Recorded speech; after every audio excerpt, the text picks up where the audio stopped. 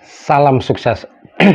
Situasi suhu politik di negeri kita setelah pelantikan presiden dan wakil presiden uh, ternyata tetap saja masih memanas. Politik menarik hari ini adalah perdebatan yang panas hingga menyenggol pribadinya saat di masa lalu mereka berdua masing-masing yaitu antara politisi PDIP Adian Napitupulu vs politisi Gerindra Hendarsam Marantoko.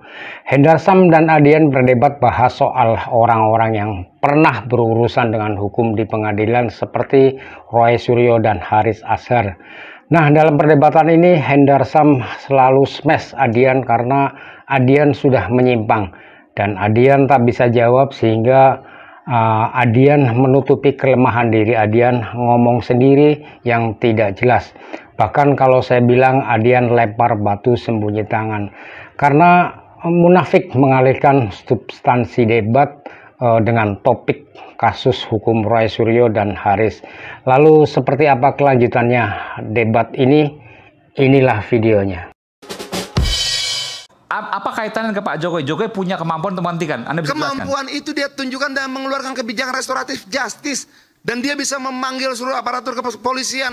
Bagaimana kualitas perkara ini. Kenapa ada jutaan perkara lain tentang uang negara yang hilang. Kekerasan terhadap rakyat dan sebagainya. Sorry, sorry.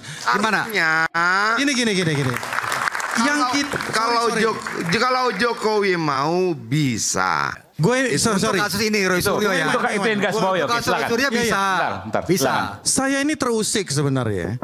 Antara Luhut, Haris Azhar, Luhut, aktivis ini segala macam.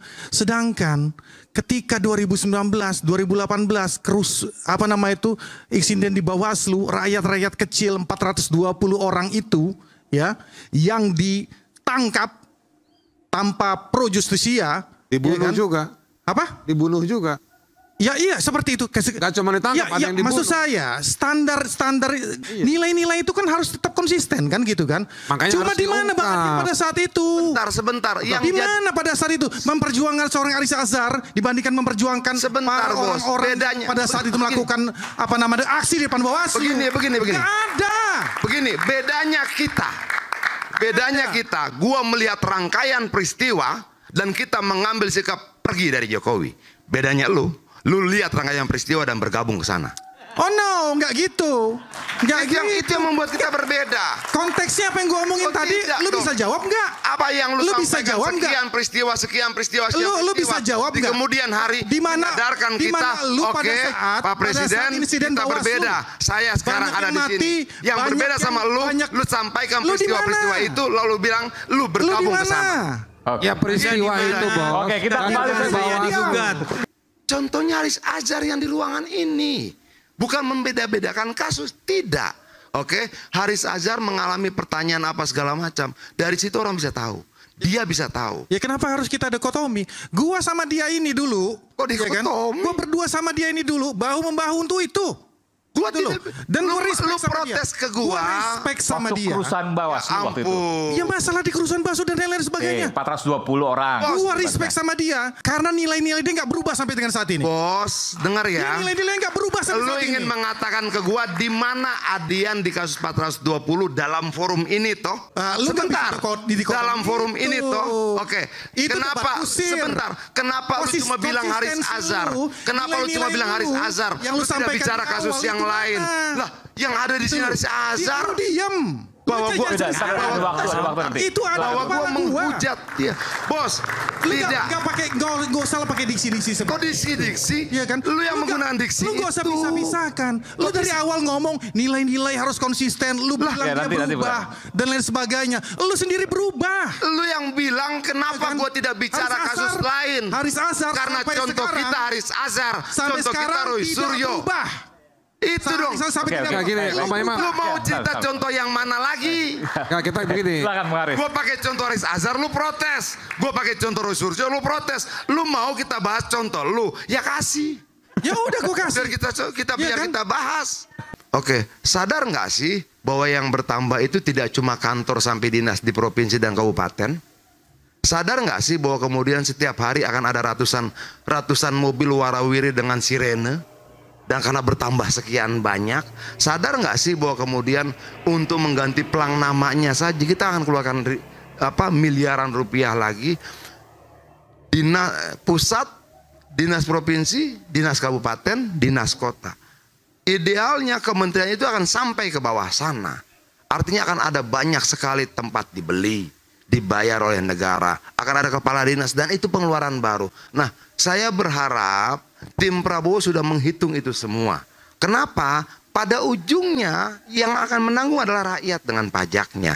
Karena 82% APBN kita kalau tidak salah itu dari pajak rakyat. Itu loh. Nah, ujung itulah yang kemudian harus kita jaga. Apakah akan terjadi seperti itu saya nggak tahu. Tapi kalau misalnya ada teman-teman di Gerindra, teman-teman di lingkaran Prabowo, tolong hitung baik-baik. Itu hitung baik-baik. Kenapa? Gede banget anggarannya. Di Jawa Barat ada 27 kabupaten kota. Apakah seluruh kementerian baru itu harus membangun dinas di tiap kabupaten kota itu? Ada ada 400 sekian kabupaten kota. Artinya kan ada 400 sekian tempat. Mejanya bagaimana itu dihitung dong. Dihitung gajinya bagaimana itu dihitung. Dari pidato kebangsaan Pak Prabowo, banyak sekali hal-hal luar biasa yang kita dengar. Tapi saya sebagai seorang yang pengikut dia sudah belasan tahun, yang saya tahu dari beliau adalah konsistensi. Konsistensi itu apa? Saya ambil dua contoh saja, ya kan. Anda dulu, ya kan, para lawan-lawan politiknya mengatakan prabocor, prabocor, prabocor, ya kan. Di mana paradoks Indonesia sebagai ideologi beliau, pattern ideologi beliau, di mana ini tidak boleh apa kebocoran ini ada sumber daya dan sebagainya itu konsistensinya diimplementasikan dia dalam perpres terbaru bahwa Kementerian Keuangan langsung di bawah presiden. Hmm. Sangat strategik sekali. Itu bahwa, menghindari kebocoran tadi yang. Yes. Oke. Okay. Jadi tidak ada layer lagi. Yeah, yeah. Kementerian Keuangan langsung ke gua. Biar apa? Segala macam pajak, ya bea cukai, langsung ke gua. Nggak ada layer-layer lagi yang main-main di situ. Bukan ya Menko kan? ya padahal langsung. Ya langsung melalui perpres. Ya. Itu konsistensi. Yang kedua, hal yang kecil tapi orang kadang-kadang nggak ngeh kemarin. Soal masalah kesejahteraan hakim. Orang mungkin ketika Pak Dasko eh, apa namanya tuh telepon ke beliau dan langsung di loudspeaker pada saat itu, wah orang seperti wah gila Pak Prabowo hebat segala macam. Itu tidak tiba-tiba bos. 2014, 2019, 2024 selalu kesejahteraan daripada aparat ya penegak hukum ideologi beliau. Konsistensi penting bagi para uh, apa namanya uh, para pemimpin dan itu harus kita teladani termasuk kita kita yang di sini. Nilai-nilai itu yang kita akan wajari. Bukan begitu Bang Adian? Oke, okay, baik.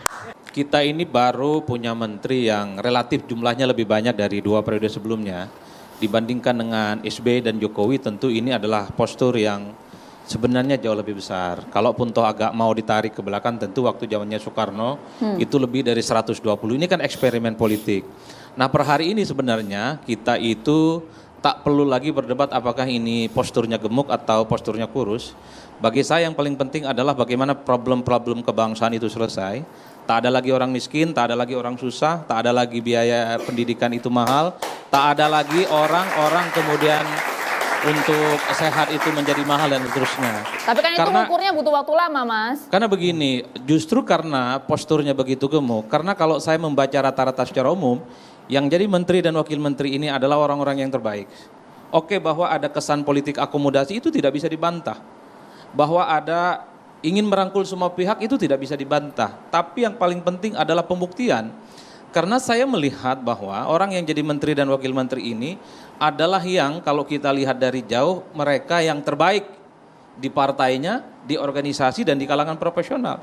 Kalau kita cek satu persatu yang jadi menteri, mereka itu adalah ketua umum partai, wakil ketua umum partai, sekjen partai dan seterusnya. Ini adalah elit-elit kunci yang saya kira minimal sudah teruji di partainya. Artinya partai-partai yang saat ini terutama partai yang lolos ke parlemen, mereka kan sudah melakukan sebuah uji bagaimana mereka itu bisa menunjukkan satu kemampuan secara teknis dan politis. Begitupun misalnya kalau kita cek dari kalangan ormas, itu adalah dua ormas besar, sekjen, orang nomor dua, itu jadi menteri. Prof. Abdul Mudi, kemudian Gus Ipul, saya kira orang-orang penting. Mic-nya lebih dekat boleh? Begitupun dengan kalangan-kalangan profesional. Kita bisa cek semuanya adalah orang yang terbaik. Yang ingin saya katakan adalah ketika koalisinya besar, ketika orang-orang terbaik di partai, di profesional, organisasi itu adalah yang terbaik yang didelegasikan untuk mengakselerasi semua visi misi dan janji Prabowo dan Gibran, maka untuk empat tahun, lima tahun ke depan tak ada lagi orang susah, tak ada lagi orang miskin, tak ada lagi persoalan-persoalan kebangsaan. Bahwa gemuk itu, bahwa obesitas itu adalah biang penyakit, tapi obesitas itu adalah sakit. Kung Fu Panda itu adalah contoh yang baik. Posturnya besar, tapi tinju tendangannya Lincah. sangat lincah. Itulah kabinet yang harus kita tunjukkan ke depan. Sebesar apa pun posturnya yang ada, semua kekuatan politik yang ada, tanpa pembuktian-pembuktian yang nyata, pastinya akan mendapatkan kritik dan resistensi masyarakat. Saya termasuk yang berharap, Bang. Anda optimis sekali ya? Saya termasuk yang hakul yakin. Ini sedang sedang pesta.